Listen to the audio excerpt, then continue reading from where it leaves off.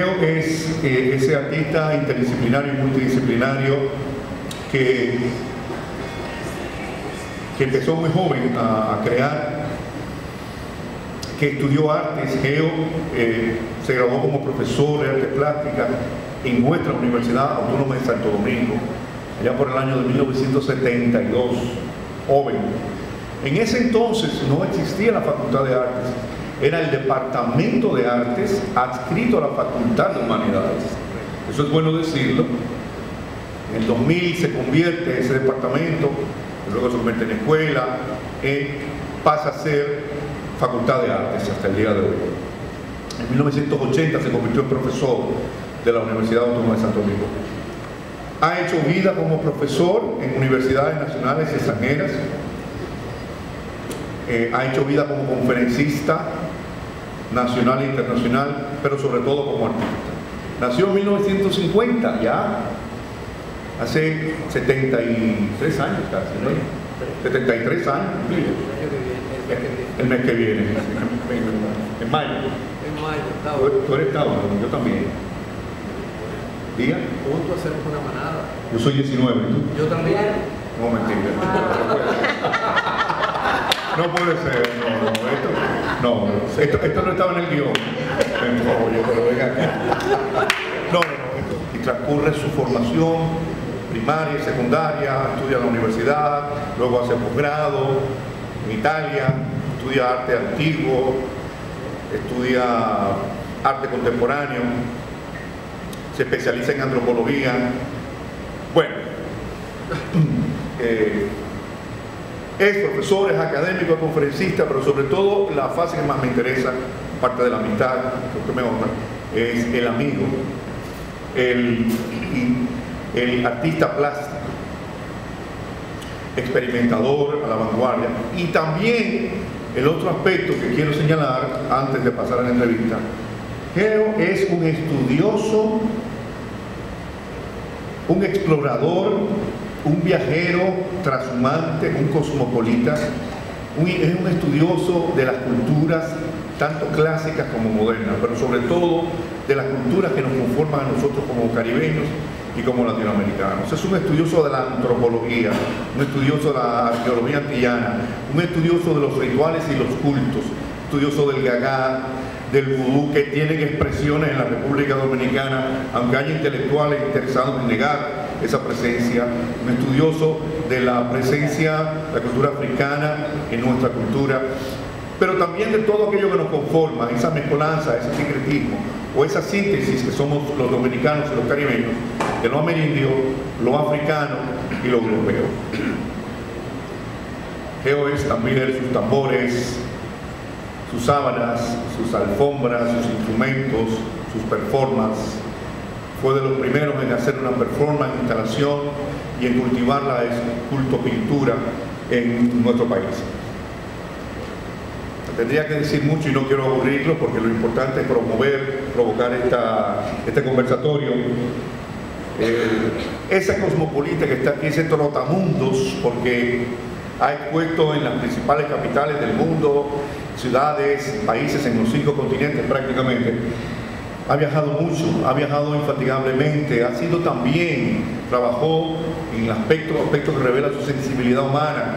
Como consultor de Naciones Unidas viajó por los batalles de la República Dominicana y trabajó en programas educativos para niños, hijos de braceros, niños de escasos recursos, niños pobres, incentivando justamente en ellos el talento, la vocación el amor por el arte.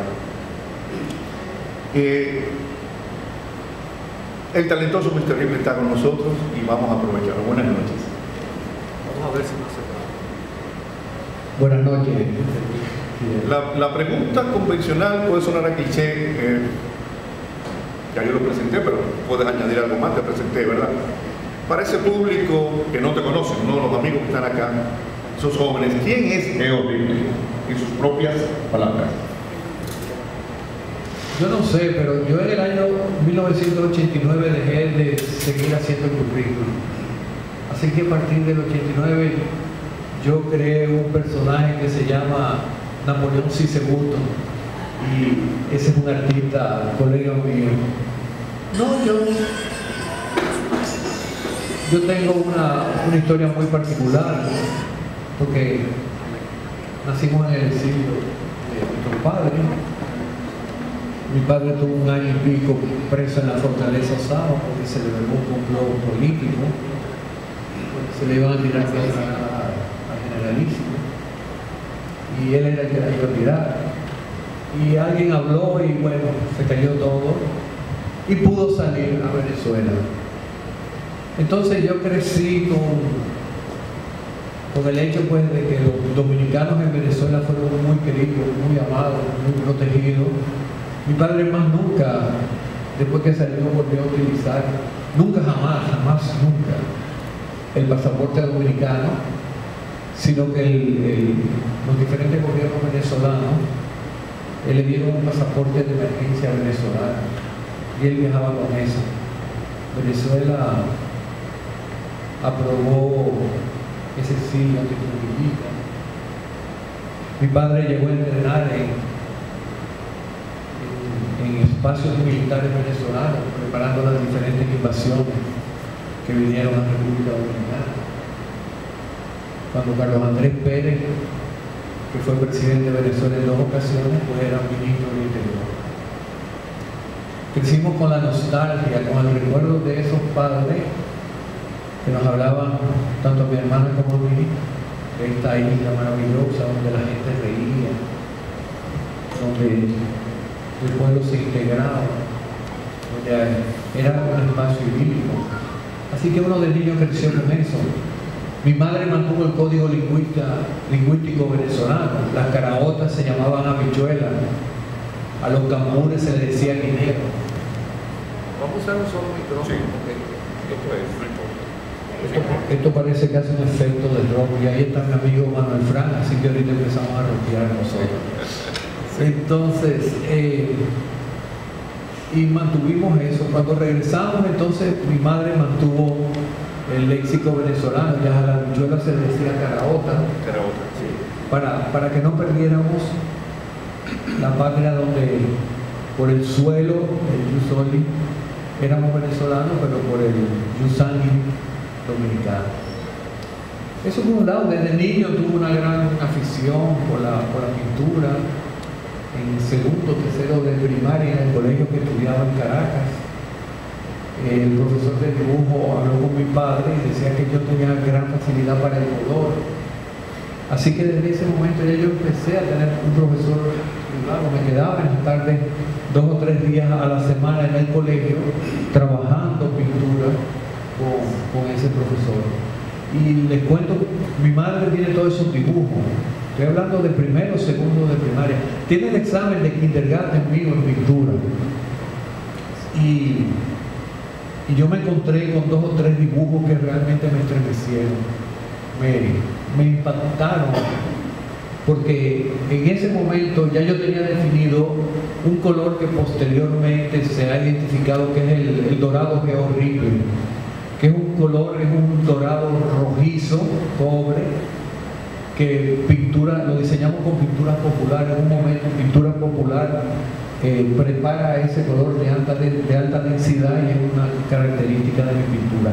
Ya en segundo tercero de primaria ya estaba ese color presente.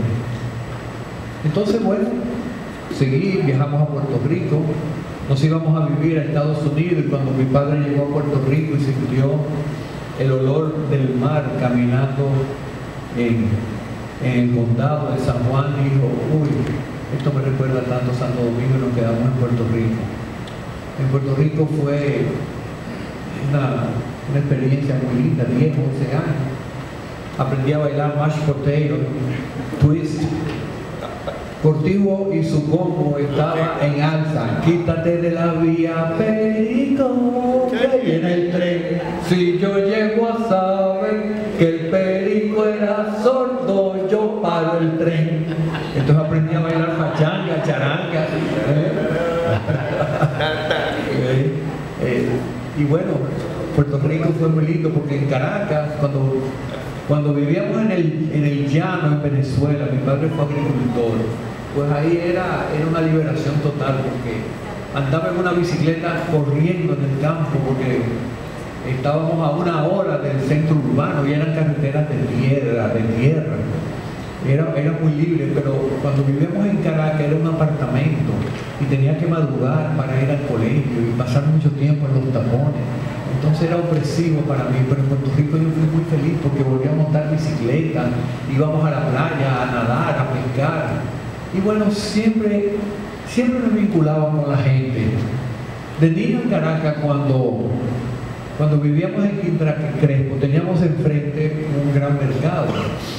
Y para mí lo más divertido era, era despertarme y entonces irme a desayunar e irme al, al mercado porque venían los grupos indígenas, los chamanes, eh, los sacerdotes eh, de la tierra, los magos de las plantas, y entonces yo me comunicaba porque iban con serpientes, eh, llevaban monos, entonces siempre conversando con, con la gente de la tierra. Y eso me creó una pasión inmensa, porque yo encontraba mucha verdad, mucha, mucha poesía.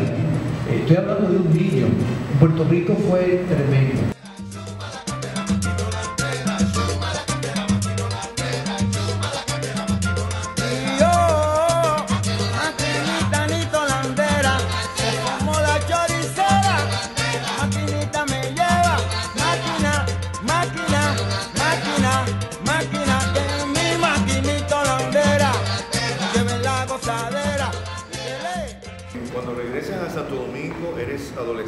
Tu adolescencia regresa a 67. 62, no, 12 ah, años, 13 años. Ah, bueno. Sí. En el año 60, 1967, con apenas 17 años, en el año, en el año 1967, con apenas 17 años de edad, tú obtienes el segundo premio de dibujo en el concurso de arte Eduardo León Jiménez. Ese es tu inicio. No. No mi inicio se remonta al año 64.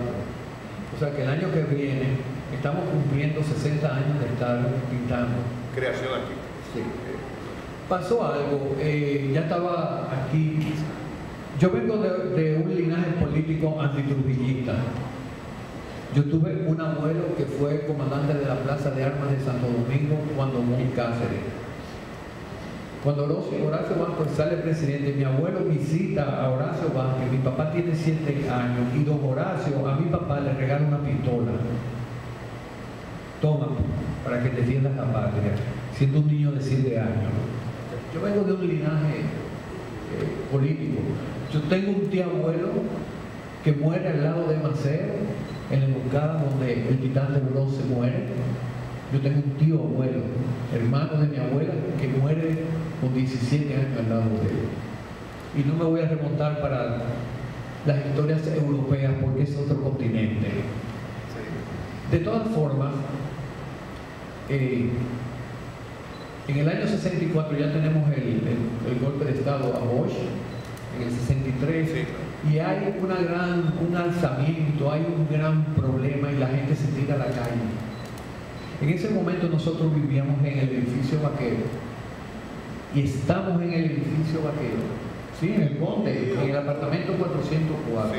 Ahí había un salón que daba al Conde y que era mi estudio de pintura. Y yo tenía una pequeña eh, cartón, y en ese pequeño cartón, que estaba haciendo un trabajo con la escuela para el Colegio Santa Teresita, Candy Wilmore, la gran pintora, era mi profesora de pintura era, era quien me estaba, me estaba dando la clase. Por la parte de atrás, con un cepillo de dientes, porque en ese momento no tenía pinceles, y unos frascos de wash, de témpera, hice una mano muy deformada, muy abstracta, consumida por el fuego. Un primo hermano mío del alma, Jorge Ramón Ripley Peña, fallecido, que había llegado a República Dominicana porque tuvieron que sacarlo de Venezuela y de Colombia por el asunto de la guerrilla política, estaba aquí y cuando vi el cuadro me dice, ¿esa es una mano del pueblo? Le digo yo, sí, esa es una mano del pueblo consumido por la situación. Me dijo, eso se llama la impotencia del pueblo dominicano ante la fuerza bruta del ejército. Yo le dije, Ese mismo título. y ese es el título. Le pusiste el mismo, así mismo. Yo le puse dos hoyitos y lo colgué y en el 65 tenemos que salir de la ciudad colonial porque en el edificio va- vaquero instalaron una ametralladora 50. Entonces cuando los aviones ametrallaban el puente y salían, salían de vientre totalmente y ahí venía el contrafuego. Entonces tenían que hacer un tiro muy difícil. Sí, Bueno. Resultó que ese cuadro estaba colgado en la casa. Mi padre trabajaba en obras públicas, empezó a, recoger policías, marinos, militares, guardia, fuerza aérea, paracaidistas, todo lo que encontraba. Y en un momento dado tenía un comando de 150 hombres en obras públicas. En un momento dado está dando instrucciones, tenía militares y sonó un disparo. Y todos los militares inmediatamente se tiraron en el piso y mi papá se, se quedó de pie porque no reaccionó. ¿no? Tiro en su y dice, y tanta cosa por un tirito. No, no, no, comandante. Y bueno, mi papá es el comandante. Entonces, en un momento, papá recibe la visita de aquel tiempo teniente coronel Héctor Lachapelle. Y bueno, lo demás es historia, la batalla del puente, la toma de la fortaleza Osama, etcétera, etcétera. Mi padre nos saca de la ciudad colonial, salimos. Ya yo tuve una experiencia muy interesante, porque en aquel momento yo era eh, Boy Scout y tenía una mochila de Boy Scout of America, con el águila norteamericana y la flor de lis. Cuando salimos caminando por toda la calle donde hay un cese de fuego, que de Molino no hay francotiradores, y estamos cruzando por la por el, el cruce de la Bolívar con la Pasteur, salimos de la zona constitucionalista, pasamos una pequeña zona donde había militares eh, del CEA, del CEFA, Centro de Enseñanza de las Fuerzas Armadas, Sí, CEFA. Y cuando seguimos, están ya los norteamericanos, y de golpe aparece un marine. Yo era un niño, eh, tenía 14 años. Yo hasta, hasta finales de los 15 años fue muy bajito, muy chiquito. Y yo lo veía enorme con ese traje. Y él cuando está eh, pasando las maletas y lo que llevamos ve Boy Scouts of America, y él me mira y se me cuadra.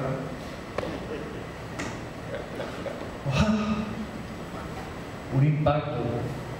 Un invasor me está haciendo un saludo. Yo saludo. Me da la mano izquierda. Coge.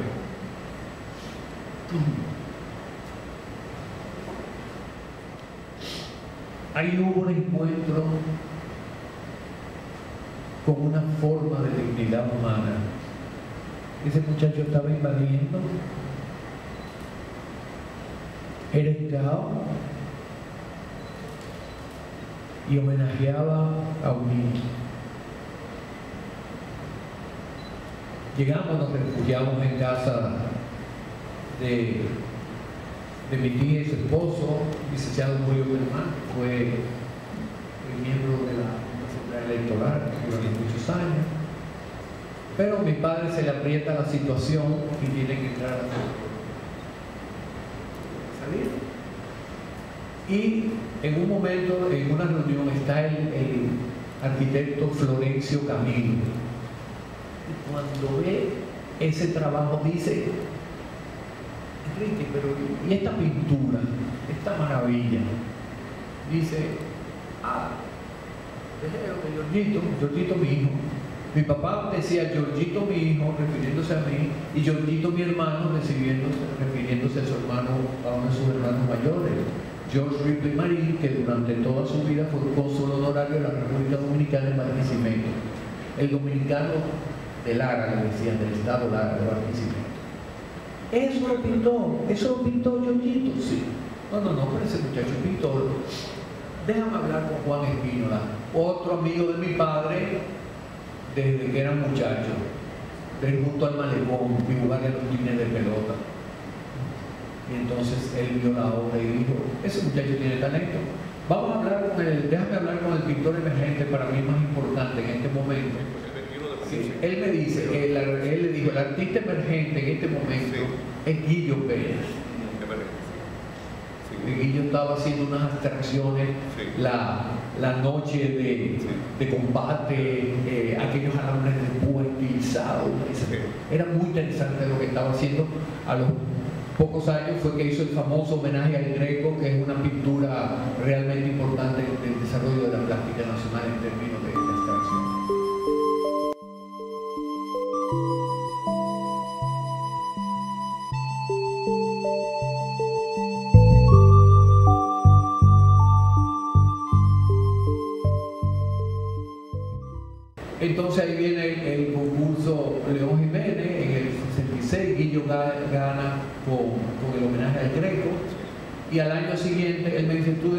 Participar.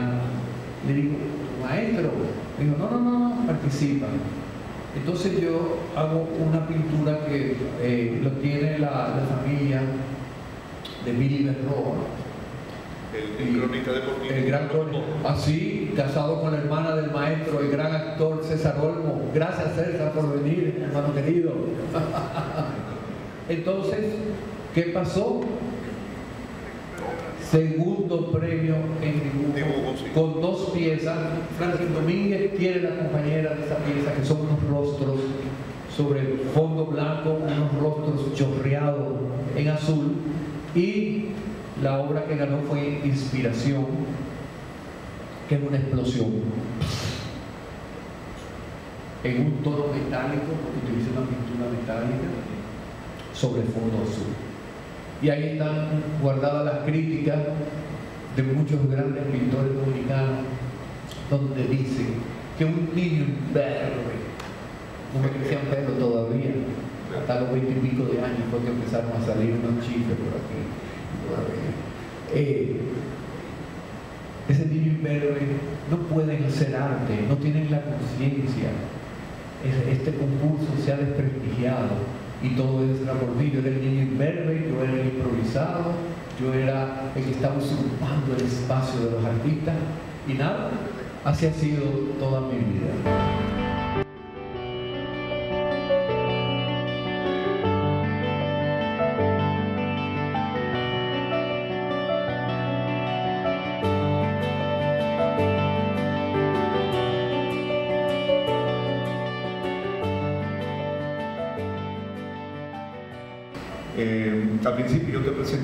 Decía presentarte que eres de los primeros artistas plásticos en la República Dominicana, si no el primero, en, acaso no el primero, en, en asumir la instalación, la performance como práctica artística. Algo que ya es común, que está en boga, ¿no? pero que en el 1970, al inicio de los años 70, era una rareza. En el año 1972, en Santiago de los Caballeros, con 22 años, tú realizaste tu primera instalación utilizando con música, con pinturas en el piso, fluorescentes, con cuadros y con incienso.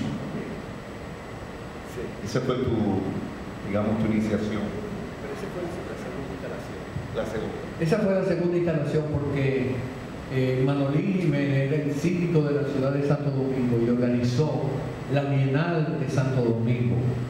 Entonces yo preparé un cuadro que es un referente en la pintura dominicana, es un cuadro que, que se fue deteriorando después del huracán George.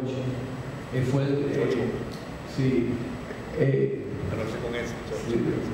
el- la obra Mantra, que era un, como un cubo escultórico con líneas eh, de colores fluorescentes y en el centro tenía dos cilindros niquelados con cascabeles y campanas adentro que uno manipulaba y al moverse repetían las líneas y se creaba como una atmósfera alrededor de los círculos, había un espacio creado dentro del círculo.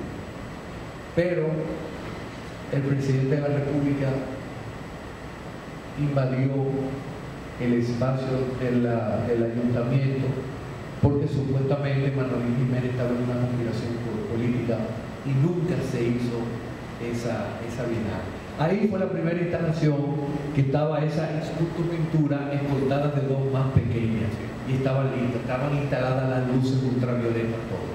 Entonces después vino la celebración de Nueva Imagen, celebrando el décimo aniversario de la Universidad Católica Madre y Maestra y ahí fue que hicimos esa instalación. Pero con la escultopintura ya tú habías iniciado en el 70, con la que ella mantra en la Sonora. Esa fue tu, seg- esa fue tu primera incursión. Sí, mantra. eh, Mantra, y eso marca una cultura. Claro que sí. Y pasó, y pasó lo siguiente, inmediatamente se suspendió esa bienal del ayuntamiento, eh, Bellas Artes convocó a la Bienal Nacional de Artes Plásticas. Era Chu Álvarez, que era conocido ¿no? del tanto de mi padre como y me ofrecieron villas y castillas para que participara, pero yo no participé, porque era una forma también de protestar por haber suspendido la Bienal del Ayuntamiento. Todos los pintores, todos que participaron en la Bienal del, del Ayuntamiento, participaron en la Bienal Nacional. Ahí es cuando Fernando Peña de Fillón gana Sí. eh, con la familia dominicana, Sí. con la lanza el movimiento, la neofiguración dominicana. Eh, ese comentario interesante, bueno. Hay mitologías personales que produjeron cosas importantes. Eh, Vicente Pimentel ganó el primer premio en, en dibujo. No, no recuerdo quién ganó, pero yo no participé. Me, me estaban ofreciendo el gran premio, me ofrecían el premio me- me- pero yo no participé. O sea, lo único que tengo de premios en la Bienal es una mención que tuvieron que crear en la Bienal que se realizó durante el gobierno de Antonio Guzmán, que la directora del Museo de Arte Moderno era Rosita Meléndez. Y hicimos en esa ocasión el ambiente mágico de vudú dominicano que posteriormente fue aceptado en la decimoprimera Bienal de París 20 años después que no se tomaba en cuenta República Dominicana y que París eh, fue considerada por los periódicos cristianos la obra más relevante y trascendente que se ve en la interpretación de las religiones africanas con el cristianismo en América y los comunistas decían que era la única obra importante que rompía la formalidad de los cristianos en términos de las religiones africanas en América.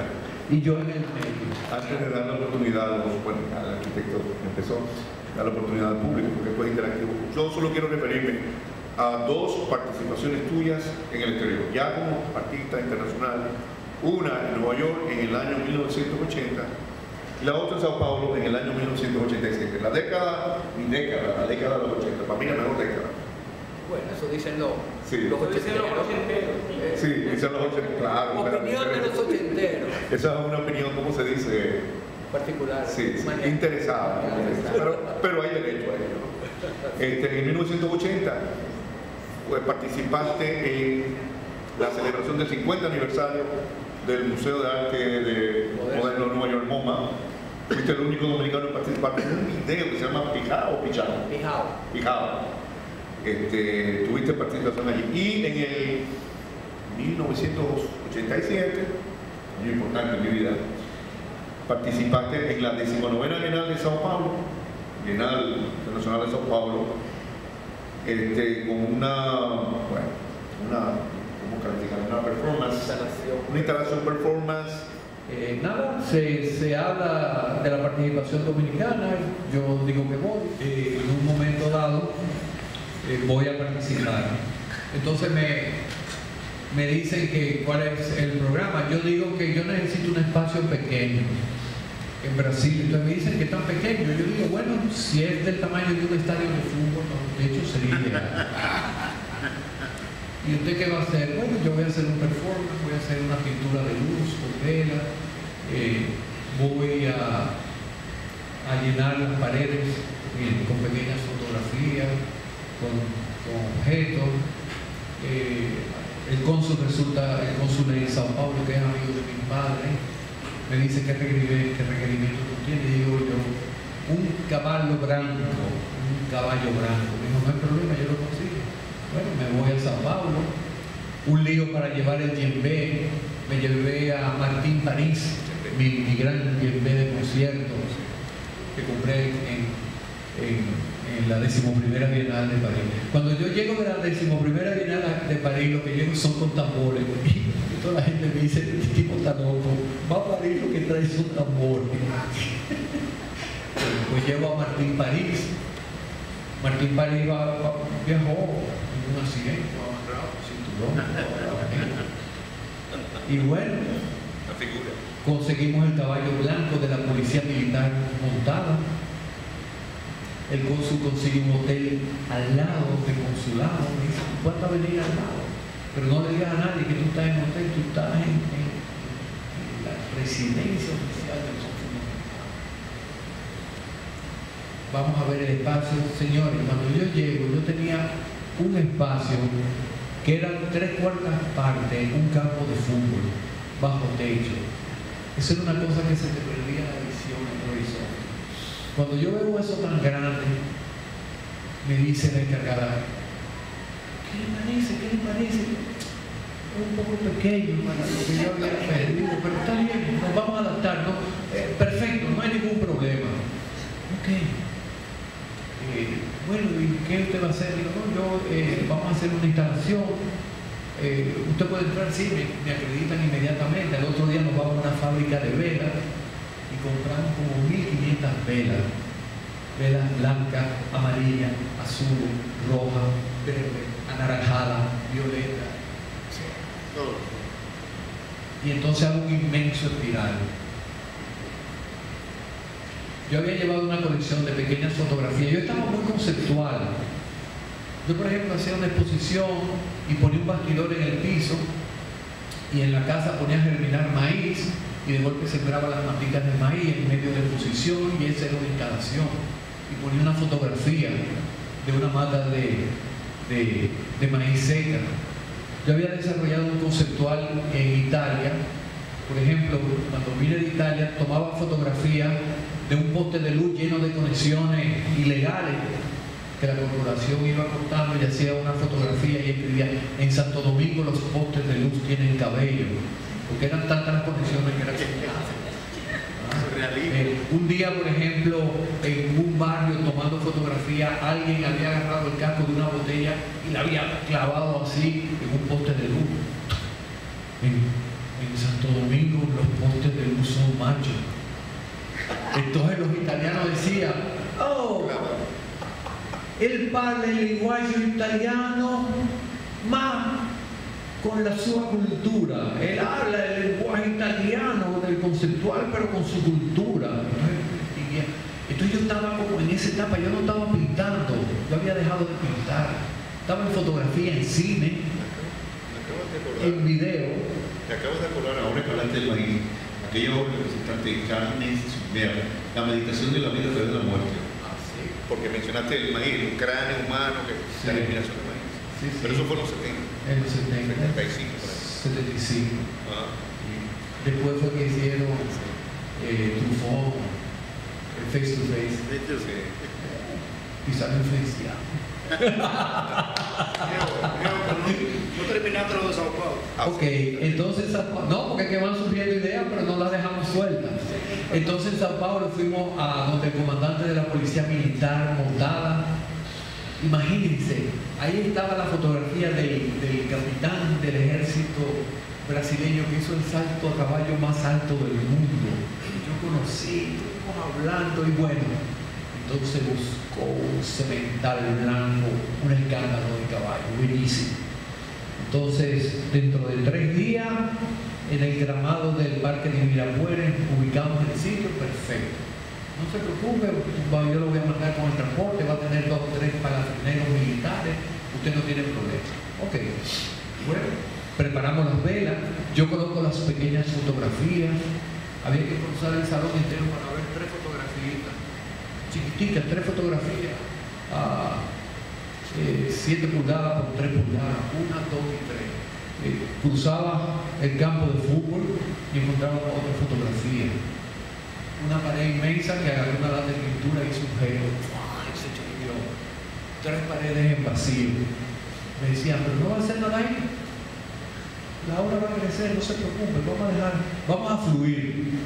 Bueno, día de inauguración, se metió una onda fría y la temperatura en Sao Paulo estaba 8 grados sobre cero. Estoy en mi hotel, me pinto el cuerpo entero con, papel, con, con polvo de ladrillo, incluyendo el pelo, tenía el pelo larguísimo, tenía pelo todavía. ¿Ah? La cara, todo. Me pongo un taparrapo, un guayuco, amarro aquí, paso, paso aquí. Pongo dos pañuelos adelante y dos pañuelos atrás para estar un poco más presentable había hecho una una máscara ritual con una cadera de toro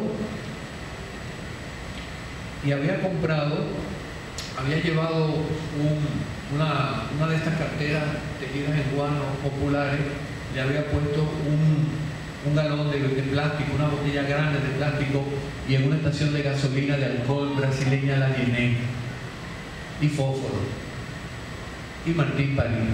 Señores, cuando yo bajé y, y salí en ese lobby, se armó un griterío de mujeres y un corredero cuando me vieron. El, el cónsul me estaba esperando, me puse unos botines porque el frío era terrible. Normalmente lo hago descalzo, pero me puse los botines, corticos, bajitos así, doblados. Y salí, me estaba esperando el cónsul en el carro, entramos, Llegamos al sitio, estaba el transporte militar, estaba el caballo ya listo. Cuando estaban los, los, militares asignados, estaban muertos de la risa porque me, me decía, usted tiene las piernas muy largas, nosotros aquí tenemos las piernitas cortas, nosotros somos amerindios, usted es un bárbaro europeo. Y un desorden, se prepara el caballo, me subo en el caballo, le entrego el tambor al presidente de la Cámara brasileña dominicana de comercio, le entrego mi, identificación, pongo mi máscara ritual y salgo en el parque a montar caballo. Caballo con una fuerza, una maravilla. Lo ponía de lado, de lado. Picaba un paso, precioso animal y voy dando vueltas, dando vueltas. Me dicen, usted no puede subir a esta escalera, usted tiene que llegar hasta ahí. Bueno, pero yo pasaba por ahí, veía que la gente estaba fluyendo, desde que llegaba se armaba un corredero, todo el mundo tomando fotos. Empezó la especulación. Este, este es un indígena, Sanemaya Romami, que está protestando. No, este es un, un, un negro que viene de Bahía a protestar porque no le han hecho el Salvador de Bahía. Eh, no, es un comunista que está protestando. O sea, yo era de todo y nadie sabía quién yo era. Y en un momento que yo veo un despliegue militar y un corredero, una cosa, llega el ministro de Cultura en representación del presidente. Cuando él sube, digo yo, esto va a empezar. Me habían dicho, suba hasta abajo, quédese ahí, no suba las escaleras. Pero en ese caballo, oye, me hasta un teleférico me subía yo.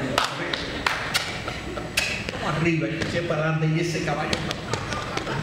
Señores, cuando yo llegué a la plaza de entrada, que subí esas escaleras y llegué, se armó un ruidero, mira, seguridad, salió corriendo para arriba de mí, yo para mi caballo ahí lo caracoleaba, daba vuelta a coger el mismo sitio, caracoleaba, lo, lo levantaba, a caer el caballo, una maravilla. Y la gente tomando fotos y filmando y el corredero, el, el ministro de Cultura agarró a la mujer, la subió rápidamente. Entonces en ese momento le digo yo a los palafreneros, ok, voy, me dijo, está bien, comandante. ¡Pum! Me tiro el caballo, agarro. Tengo, tengo, en ese momento toda la prensa se va atrás del, ministro, las escaleras están vacías, hablo, abro el galón, eh, no era un galón, era medio galón, o sea, una, una botella grande, como medio galón, pero digo el término galón por, para que tengan la idea de la botella. Abro la botella y en las escaleras subo, bajo y hago como una culebra de dibujo y le prendo fuego. ¡Wow! El fuegazo. cuando la gente dice que, que están haciendo un incendio, el juidero, todos los periodistas bajando a tomar fotos y a filmar. Entonces yo me cruzo el yembe, hago una salutación al fuego y digo que los malos espíritus de la Bienal se vayan. Ahí empecé a tener problemas, porque el alcalde de la ciudad dijo que un hombre con todo el cuerpo eh, pintado de rojo, desnudo, estaba montando caballo en el gramado de Virapuera y que si no es porque anda en un caballo de la policía militar, él hubiera metido preso y hubiera dado de golpe, eh, que es un inmoral. Pero resultó que ese señor había sido el presidente elegido por el pueblo brasileño que renunció y vino de dictadura militar. Entonces me entrevistan. El alcalde dijo, digo, bueno, pues yo tengo otra idea diferente de, de lo que es inmoralidad. ¿Y qué es inmoralidad? Ser elegido por un pueblo presidente y por miedo a la muerte, renunciar y tener el pueblo brasileño que soportar una dictadura que tantos jóvenes le costó a esta nación. El cónsul Damasio es horrible. Te metiste en rojo. Pero no tienes que comerle M a nadie. Tira para adelante que yo te apoyo.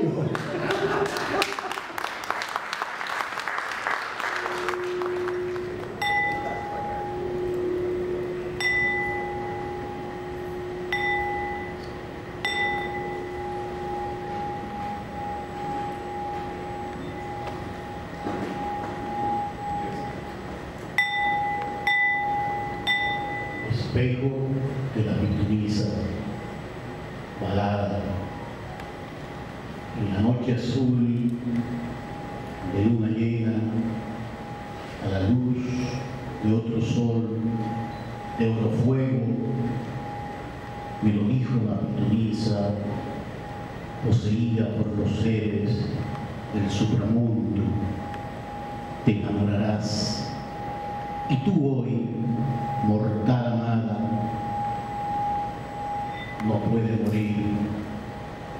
porque yo te amo.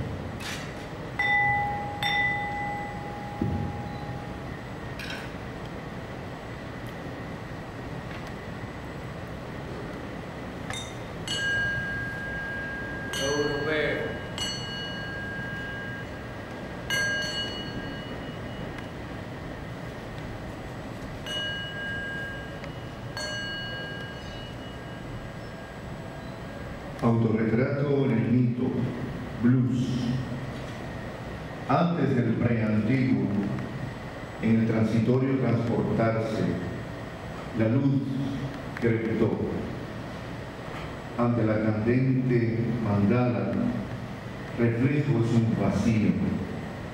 Tu nombre, y en la tierra de otro mundo, rapto de imagen, héroe civilizador, encuentro de luchas, carnes versus carne, huida, reposo de las aguas, pérdida del movimiento, arcanos de meridianos, estática del horizonte, paisajes de calotas, arenas y más arenas, reencuentro de unión, hacia la... ¿Por qué? El silencio. Desde el fragor, lo astral. Submundo del núcleo, planeta, ruta transitada sin luces, infinita reflexión del pasado, rescate, contemplación, solo, solo soy un transeúnte sobre mi piel, observo el silencio del sonido. solista.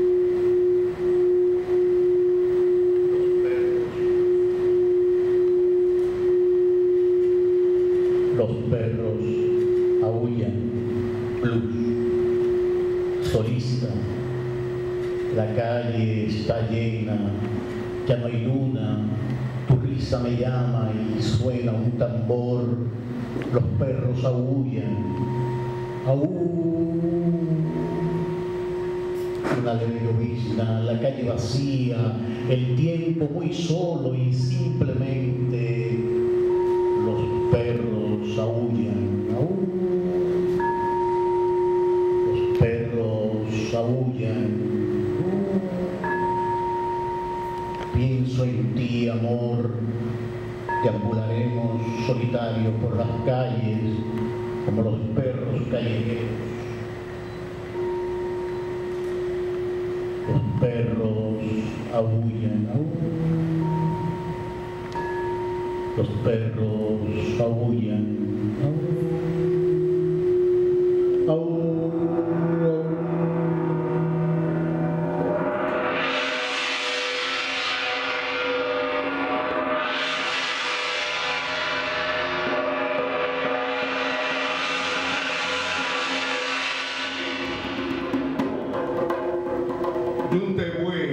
Gagá, Yuntehue, Josefina, Yuntehue, ¿quién tú eres? Yuntehue, Ciguapita, Yuntehue, Chiquitito, Yuntehue, Manolito, Yuntehue, aquí el Patadillo, Yuntehue, después de Patacalito, Yuntehue, también los Sabinitos, Yuntehue, también los llaman los Sabinitos, Yuntehue, y ahora se llama Yuntehue.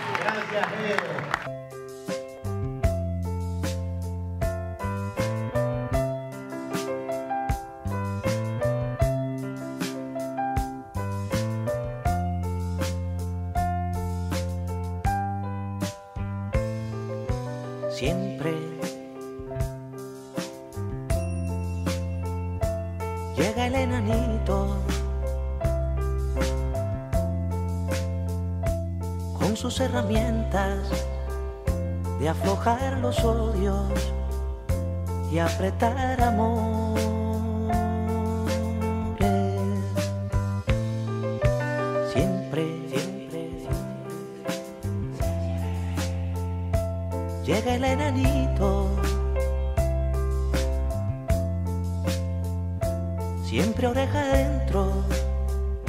Con